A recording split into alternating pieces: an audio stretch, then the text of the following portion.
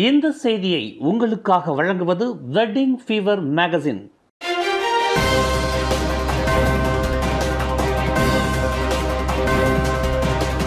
வணக்கம் திசைகளின் பத்து மணி செய்திகள். அருவருக்கத்தக்க கருத்தை பதிவேற்றம் செய்த இருவர் சிக்கினர். கடந்த ஜூலை ஒன்பதாம் தேதி டிக்டாக் தளத்தில் நாடாளுமன்ற அமர்வின் மறு ஒளிபரப்பு தொடர்பில் அருவருக்கத்தக்க மற்றும் ஆத்திரமூட்டும் கருத்துக்களை பதிவேற்றம் செய்ததாக நம்பப்படும் இருவர் மலேசிய தொடர்புத்துறை மற்றும் பல்லூடக ஆணையமான எம்சிஎம்சியிடம் சிக்கினர். அந்த இரு நபர்களின் அருவருக்கத்தக்க கருத்து பதிவேற்றம் தொடர்பில் பொதுமக்களிடமிருந்து கிடைக்கப்பெற்ற புகாரின் அடிப்படையில் அவ்விருவரையும் எம்சிஎம்சி அடையாளம் கண்டதாக அந்த ஆணையம் இன்று வெளியிட்டுள்ள ஓர் அறிக்கையில் தெரிவித்துள்ளது. நேற்று எம்சிஎம்சி ஆணையத்தின் விசாரணைக்கு உட்படுத்தப்பட்ட அந்த இரு நபர்களிடமும் வாக்குமூலம் பதிவு செய்யப்பட்டதுடன் அவர்களின் விவேக கைபேசி மற்றும் சிம் கார்டு ஆகியவை பறிமுதல் செய்யப்பட்டன. குற்றவாளி என்று நிரூபிக்கப்பட்டால் கூடியபட்சம் ஐம்பதாயிரம் வெள்ளி அபராதம் அல்லது ஓராண்டு சிறை அல்லது இரண்டுமே விதிக்க வகை செய்யும். ஆயிரத்து தொள்ளாயிரத்து தொன்னூற்றி எட்டாம் ஆண்டு மலேசிய தொடர்புத்துறை மற்றும் பல்லூடக ஆணைய சட்டத்தின் கீழ் அவருவரும் நீதிமன்றத்தில் குற்றச்சாட்டப்படுவர். அதற்கு எதுவாக அவருவரின் வாக்குமூலம் பதிவு செய்யப்பட்டுள்ளதாக அந்த ஆணையம் தெரிவித்துள்ளது. மந்திரிபசார்கள் மற்றும் மாநில முதலமைச்சர்கள் ஆகியோருக்கான நூற்று நாற்பத்தி மூன்றாவது கூட்டம் இன்று புத்ராஜயாவில் நடைபெற்றது. இக்கூட்டத்திற்கு பிரதமர் டத்துஸ்ரீ அன்வர் இப்ராஹிம் தலைமையேற்றார்.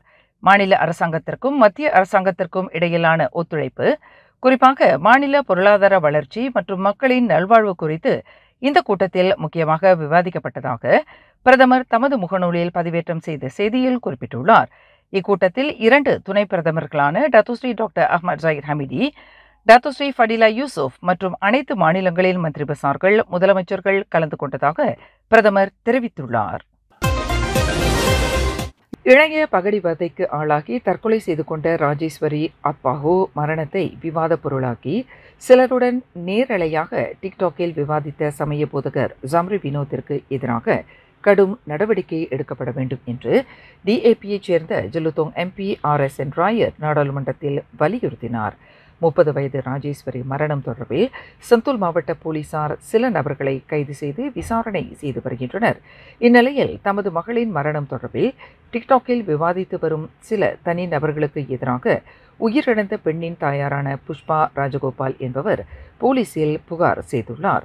ராஜேஸ்வரியின் மரணம் இன்னமும் விசாரணையில் இருந்து வரும் நிலையில் அவரின் மரணத்திற்கு யார் காரணம்? யார் மீது தவறு என்று ஜம்ரி வினோத் டிக்டாக்கில் நேரடியாக விவாதித்து வருவது கண்டிக்கத்தக்கதாகும். அவர் மீது விரைந்து நடவடிக்கை எடுக்கப்பட வேண்டும் என்று சட்டத்துறை அமைச்சை ஆர் எஸ் என் ராயர் கேட்டுக்கொண்டார் Isteri beliau bernama Pushpa Rajagopal telah membuat satu laporan polis terhadap pihak-pihak yang membuat live TikTok membincangkan tentang perkara sama ada membunuh diri itu apabila seseorang mangsa itu membunuh diri siapa yang salah sebenarnya. Jadi saya ingin menggunakan kesempatan ini untuk tanya kepada timbalan speaker. Siasatan sedang dijalankan. Gadis ini Rajeswari Apahu berusia 30 tahun telah membunuh diri. Dan uh, akibat membunuh diri ini uh, masih sedang disiasat. Ketika itu kita lihat seorang individu yang telah saya sebut Zamri Vinod membuat live TikTok membincangkan dengan beberapa orang individu lain adakah siapakah yang bersalah sekiranya seseorang itu membunuh diri. Dan jadi dalam konteks itu saya ingin tanya R S N ராயரின் இந்த கோரிக்கை தொடர்பில் நாடாளுமன்றத்தில் பதில் அளித்த சட்டத்துறை துணை அமைச்சர் M Kulasegaran R S N ராயரின் இந்த பரிந்துரையை தாம் ஆதரிப்பதாக குறிப்பிட்டார் சர்ச்சைக்குரிய விவகாரங்கள் குறித்து அடிக்கடி காணொலி வெளியிட்டு பேசி வரும் ஜம்ரி வினோத் ராஜேஸ்வரி மரணம் தொடர்பில் பகிரங்கமாக பேசியது தொடர்பில் அரச மலேசிய போலீஸ் படை விரைந்து விசாரணை செய்து அவரை நீதிமன்றத்தில் நிறுத்த வேண்டும் என்று தாம் பரிந்துரைப்பதாக துணை அமைச்சர் எம். குலசேகரன் தெரிவித்தார்.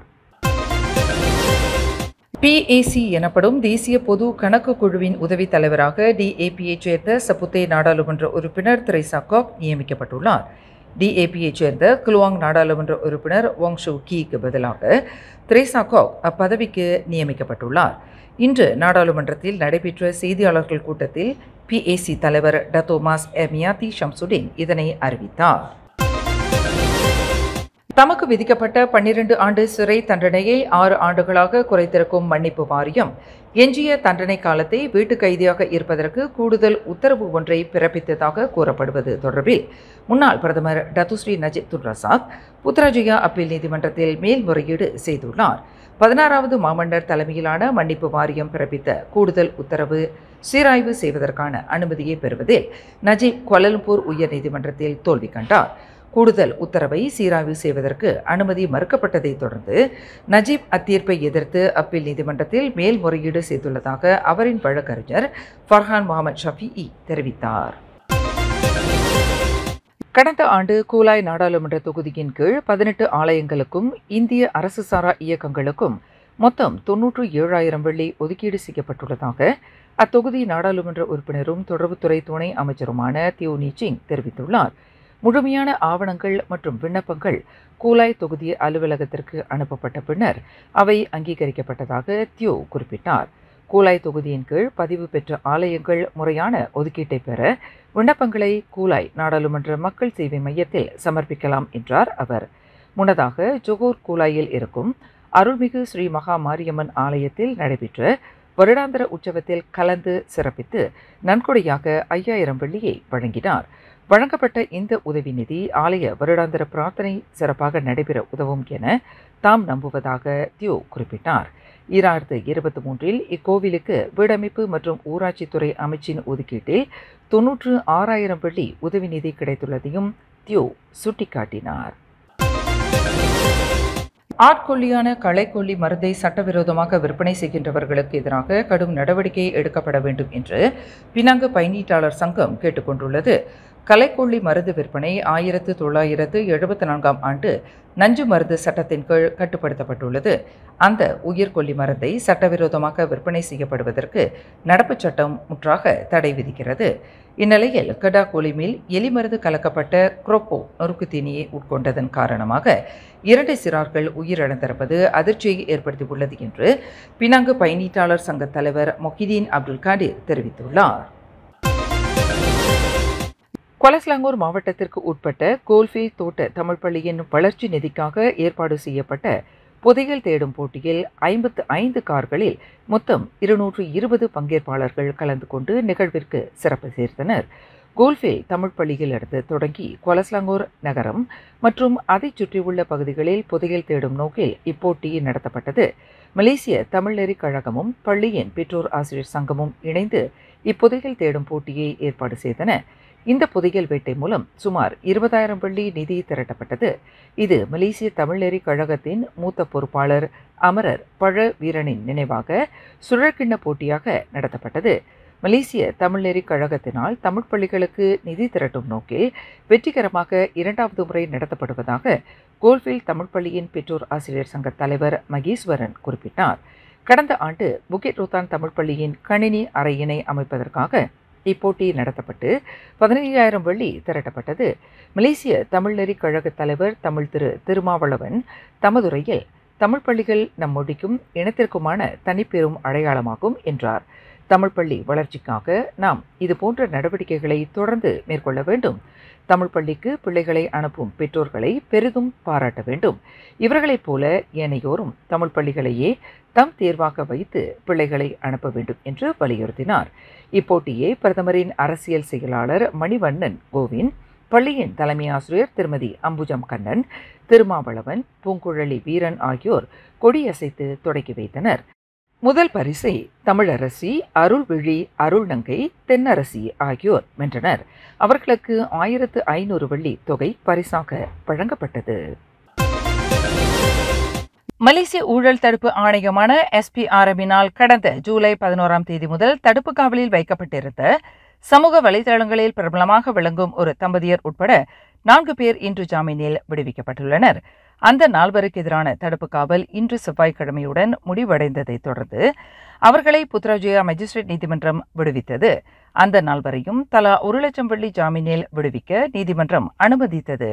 ஜாமீன் பணத்தில் முதலில் தலா இருபதாயிரம் வெள்ளியை முன்பணமாக செலுத்த வேண்டும் என்று நீதிமன்றம் உத்தரவிட்டது. பொதுமக்கள் வழங்கிய நன்கொடையை தவறாக பயன்படுத்தியது தொடர்பில் தம்பதியர் உட்பட நால்வர் எஸ்பிஆர்எம்மினால் கைது செய்யப்பட்டனர்.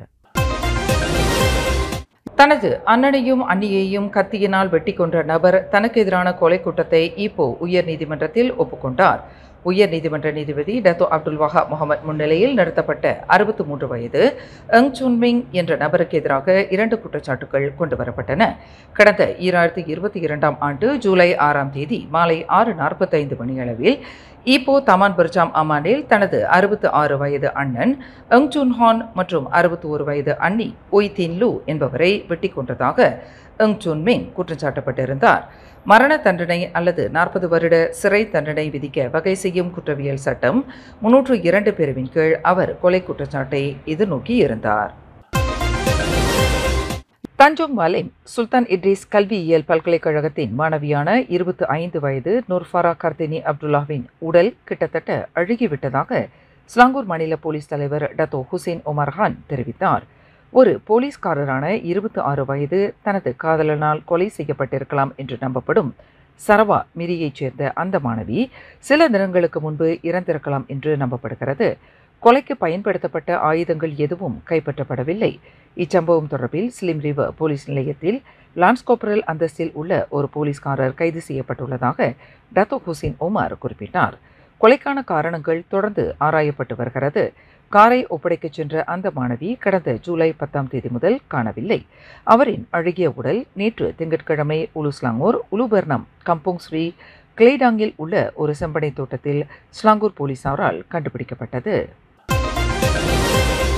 தஞ்சோங் மலிம் சுல்தான் இட்ரிஸ் கல்வியியல் பல்கலைக்கழகத்தின் மாணவியான இருபத்தி ஐந்து வயது நொர்ஃபாரா கர்தினி அப்துல்லா கொலை தொடர்பில் கைது செய்யப்பட்டுள்ள தனது உறுப்பினரை அரச மலேசிய போலீஸ் படை தற்காக்காது என்று அதன் தலைவர் தான்ஸ்வீர் ராசருடின் ஹுசைன் தெரிவித்துள்ளார். இந்த கொலை தொடர்பில் போலீஸ்காரர் கைது செய்யப்பட்ட போதிலும் போலீசார் மேற்கொள்ளக்கூடிய அனைத்து விசாரணையும் நேர்மையாகவும் வெளிப்படையாகவும் இருக்கும் என்று ஐஜிபி உறுதி அளித்துள்ளார். போலீஸ் படை உறுப்பினர்கள் தங்கள் பொறுப்பை ஏற்பதற்கு சத்தியப்பிரமாணம் எடுத்துக்கொள்ளும் போது பொதுமக்களுக்கு சேவையாற்றவும் சட்டத்தை அமல்படுத்தவும் உறுதிமொழி எடுத்துக்கொள்கின்றனர். அதனை மீறுகின்ற எவரையும் போலீஸ் படை தற்காக்காது என்று தான் ஸ்ரீரருடன் திட்டவட்டமாக தெரிவித்தார். மேலும் செய்திகளை தெரிந்து கொள்ள கீழே இருக்கும் பெல் பட்டனை அழுத்துங்கள். உங்கள் மகிழ்ச்சியை வெளிப்படுத்த லைக் மற்றும் ஷேர் செய்யுங்கள். தொடர்ந்து திசைகளோடு இணைந்திருக்க சப்ஸ்கிரைப்